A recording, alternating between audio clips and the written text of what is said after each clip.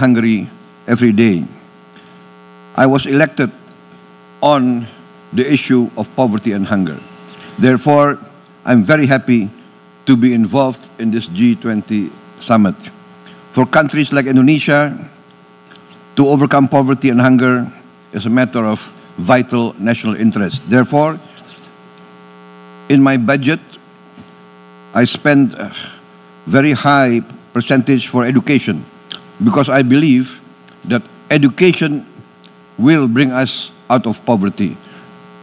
Po- uh, education can bring better life for our people.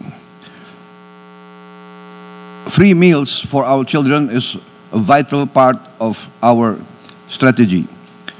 This is also Download Tribun X sekarang. Menghadirkan lokal menjadi Indonesia.